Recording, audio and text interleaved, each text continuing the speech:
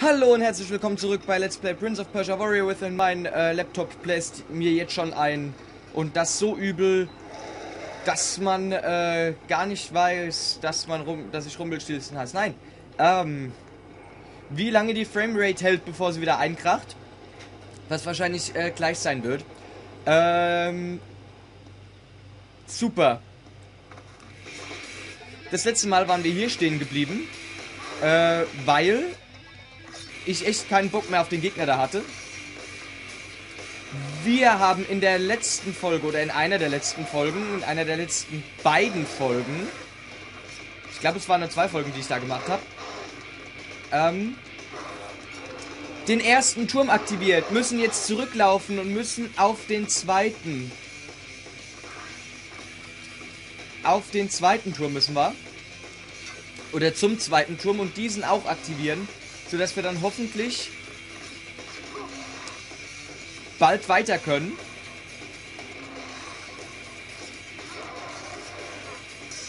Oh oh. Oh oh. Haha, Virgin. Eieiei. So, jetzt ein bisschen Konzentration hier. Weil der Gegner ist doch nicht immer so ist halt nicht ganz so ralle, weil der macht einem verdammt viel Schaden und wenn er mich da den Abgrund runter wirft, tötet er mich einfach mal so. Ungefähr so. Weil irgendwie kann ich gerade nicht mehr ausweichen. Ich hasse mein altes Gamepad immer noch wie Sau bei diesem Spiel.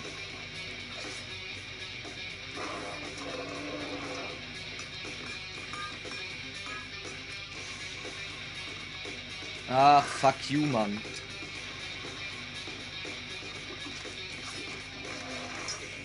Man muss ihn ja töten, indem man äh, in seinen komischen Nacken da sticht, oder?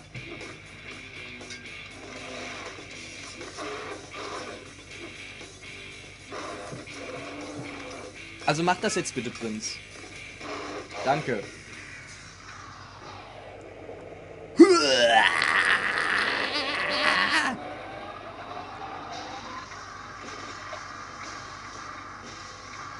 Gut, weiter geht's. Vielleicht ist da ja Sand drin oder so. Moment, ich hätte doch einfach weitergehen können. Oder wo geht's denn jetzt weiter? Weil da ist der zu. Hä?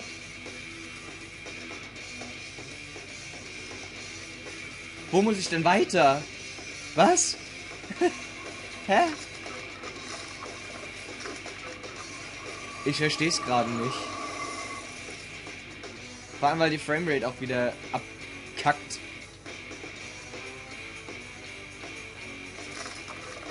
Aber es wäre relativ unnötig von da, wo wir gekommen sind.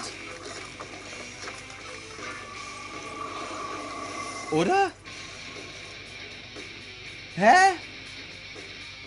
Weil da ist ja nicht umsonst ein Gegner. Ach, guck mal daneben. Guck mal daneben.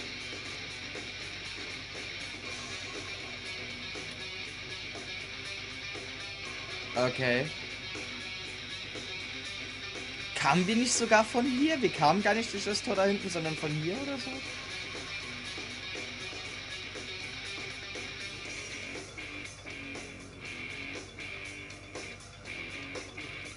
Ah, ja, guck mal da. Ah, ja, genau. Da war was.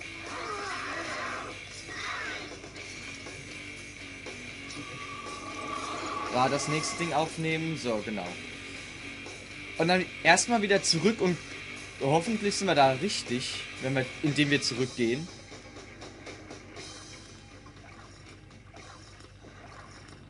Weil ich habe gerade echt keine Ahnung, wo wir lang müssen.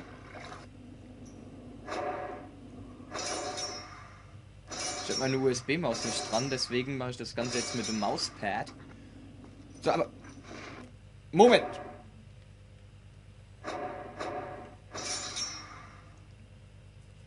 Genau, aktiviert den zweiten Turm. Das heißt, wir sind eigentlich jetzt auf dem richtigen Weg, indem wir anders gehen. Gut. Äh, Taste 4 zurück. Danke.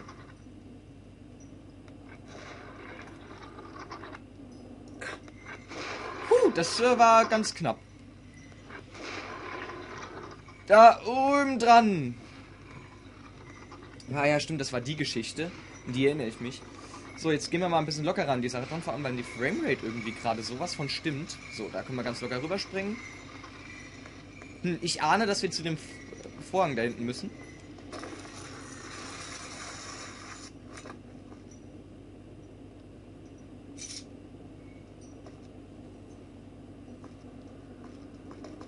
Nee. Du sollst da schon dran, Prinz. Super! Hast du super gemacht.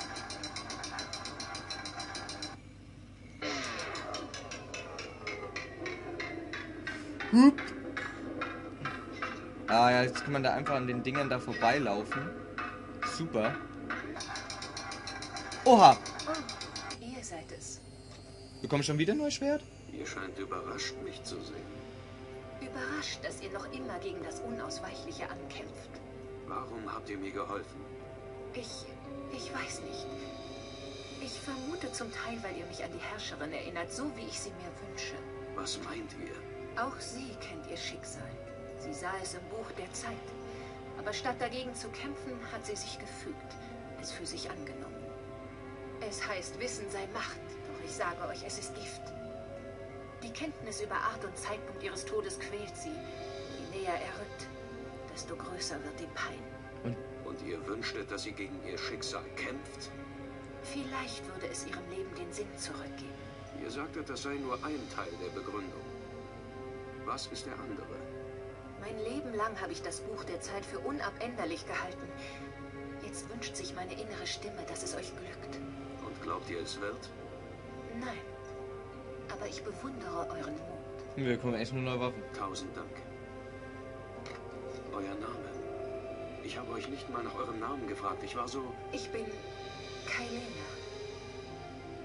Ihr solltet gehen. Die Sanduhr ist schon mehr als zur Hälfte leer. Ihr habt nicht viel Zeit. Ihr erhaltet das Löwenschwert. Mit diesem legendären Schwert könnt ihr Energie speichern. Benutzt es, um die Energie in zerstörerischen Attacken freizusetzen. Wow.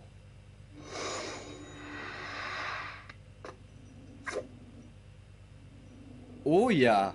Oh ja. Äh, so. Ich gehe davon aus, dass wir hier jetzt... Also. Äh, ich glaube, die Herrscherin will den Sand der Zeit erschaffen. Ach nee. Um... Ähm... Um Angriffe aufzuladen. Moment, Moment, Moment, Moment. Hier können wir bestimmt irgendwelche Wände anfangen einzuschlagen oder sowas. Äh, auf jeden Fall.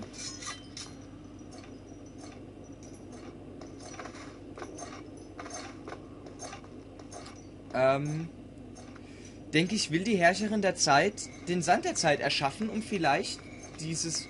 Oder ist das ihre Aufgabe, die vom Buch der Zeit irgendwie. Weil die, die Herrscherin weiß ja, dass sie sterben wird. Und die Art scheint ja auch nicht so pralle zu sein, wie sie das tut. Erschafft sie deswegen den Sand der Zeit? Das klang nicht gesund.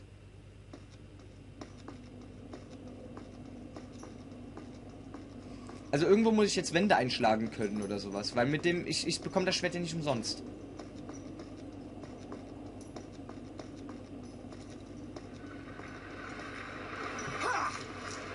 Gut. ähm, die Frage ist, wo muss ich jetzt genau weiter? Ich habe keine Ahnung. Das Spiel sagt es mir nicht. Also, es ist für mich jetzt wahrscheinlich, dass ich irgendwo eine Wand einschlagen kann. Ja. Es war ja noch nicht mal für mich so offensichtlich, ob ich jetzt wirklich zurück muss oder nicht. Ah, roll doch nicht rein, du Vollhonk. Roll doch nicht nochmal rein, du Vollhonk. Du Arsch, Idiot. Wow. Wenn wir jetzt wieder in der Zeit wechseln müssen, bin ich eigentlich nicht so sehr amused, weil äh wegen dem Dahaka. Ich habe immer noch ein bisschen Angst vor dem. Ähm, vor allem, wenn der kommt und der Prinz nicht lenkt, schießt mir das Adrenalin irgendwie bös äh, in meinen Penis oder so. Also ist nicht gerade sehr, sehr cool. Moment, Moment, Moment, Moment, Moment.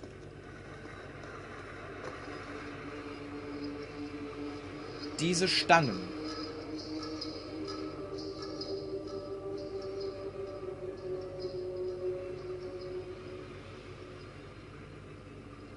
Äh, natürlich schaffe ich das jetzt nicht, wenn ich da rangehe. Also ich komme da nicht hin. Aber würde, würde es von der Karte her Sinn machen? Wenn man da an diesen Stangen dann so rum, rundrum, rein logisch gesehen, müsste ich wieder zurück und über die Brücke da vorne.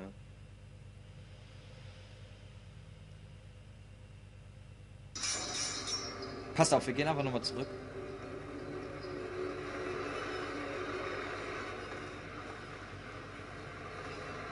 Lassen uns gerade nochmal treffen und saufen hier gerade nochmal eine Runde. Hätte ich auch eigentlich gleich laden können. Ja, das stimmt, aber nee. Ähm, nee, ich will das Spiel jetzt nicht speichern. Das war jetzt gerade nicht asynchron. Ich habe einfach gewusst, dass mir die Frage gestellt wird. Äh, und dann gucken wir doch einfach nochmal.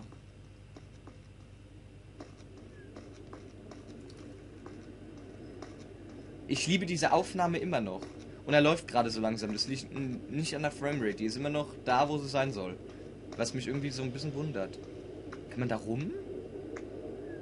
Nee.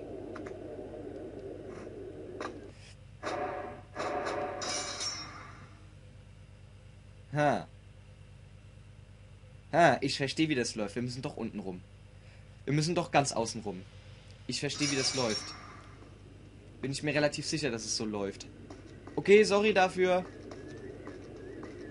Oh, jetzt läuft aber schnell, Prinz hier. Und das bei derselben Framerate. Na, wunderschön.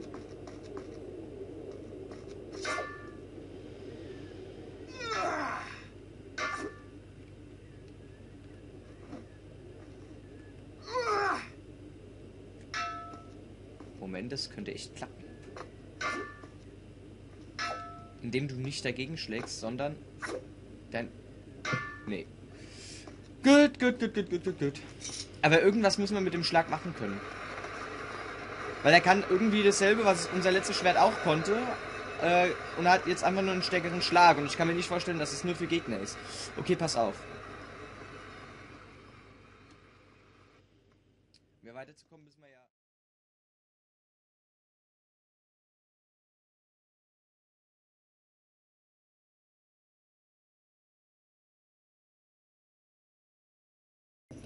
Hallo liebe Freunde und herzlich willkommen zurück bei Let's Play Prince of Persia Warrior Within. Das Problem, das ich das letzte Mal hatte, war, dass wir hier den falschen Turm aktiviert haben. Denn diesen Turm, den wir hier aktiviert haben, ist der zweite. Und ich komme nicht auf die Idee, dass gegenüber der erste ist.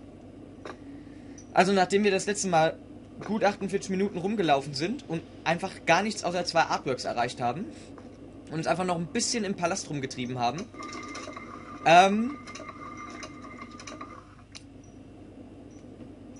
Ja, müssen wir jetzt hier lang.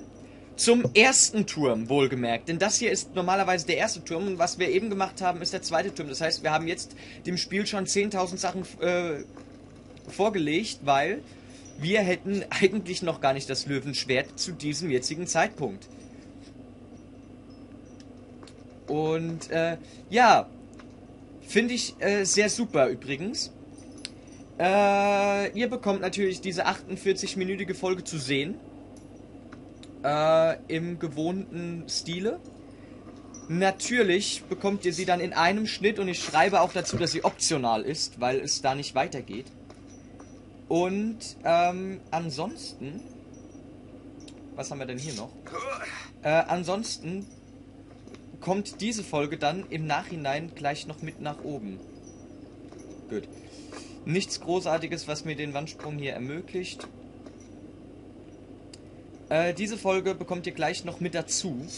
Das heißt, an einem Tag zwei Prince of Persia Folgen. Ich hoffe, ich denke dann zu dem Zeitpunkt dran, wo ich das hochlade. Weil zurzeit wird ja noch Prince of Persia The Sands of Time hochgeladen. So, und hier müssen wir durch. Und dann gelangen wir hier in die Gärten. Und hier müssen wir die Zeitlupe aktivieren.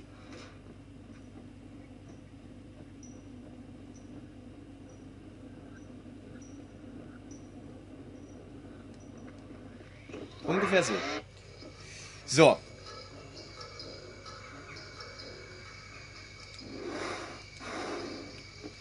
Jetzt geht das Spiel endlich mal wieder weiter. Das heißt, die Folge, keine Ahnung wie viel es ist, äh, ist optional. Diese 48-minütige Folge.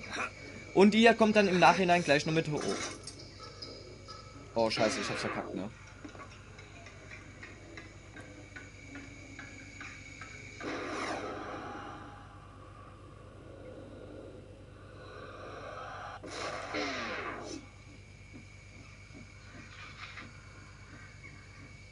Lauf, Prinz, lauf. Sehr cool. Wir haben keinen Sand mehr. Hey, hey. Ähm. Prinz. Danke. Du musst nicht so viel trinken. Also wie gesagt, wir haben zuerst den zweiten Turm gemacht und jetzt machen wir den ersten. Äh, also Wahnsinn. Babylon ist also nicht der einzige Ort, das Wunder der hängenden Gärten zu bestaunen. Unsere dienen jedoch nicht als Brutstätte für Monster. Gut, war das hier vielleicht ursprünglich auch nicht. Haltet ihn auf, bevor er sein Ziel erreicht. Euch kennen wir ja schon. Die Mucke ist geil. Stirb. Du, alles was du brauchst, ist einen gesunden Anwalt.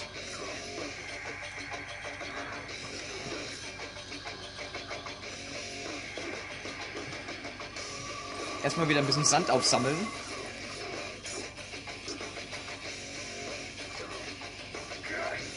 Fuck, ich wollte ihn jetzt mit dem mit meinem stylischen aufgeladenen Schlag töten.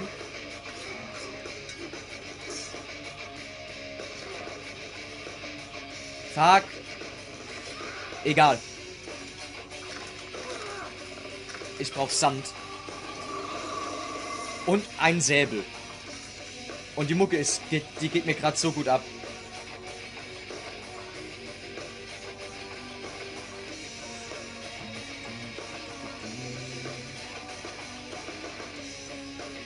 Erstmal ein bisschen umgucken.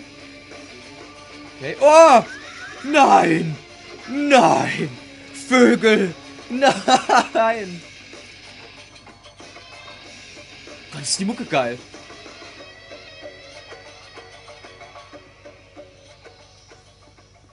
Fuck, ging mir das gerade gut ab. Okay.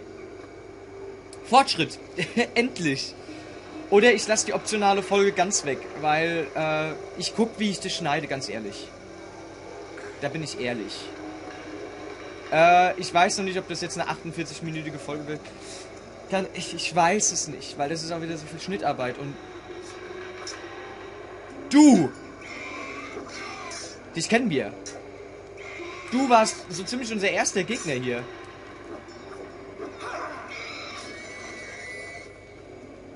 Ich kann nicht glauben, dass du wieder hier bist.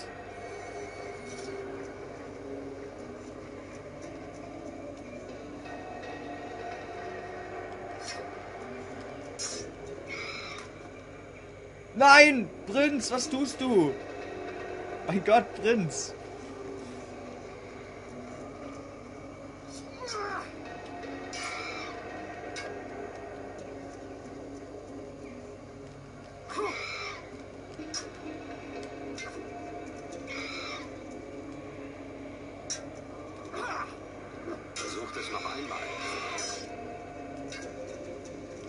Oh, wie ich diesen Kampf hasse. Und diesen Gegner vor allem. Ach, guck mal da.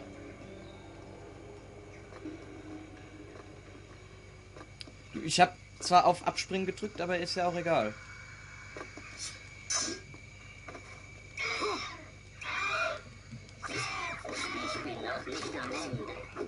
Bist du das nicht?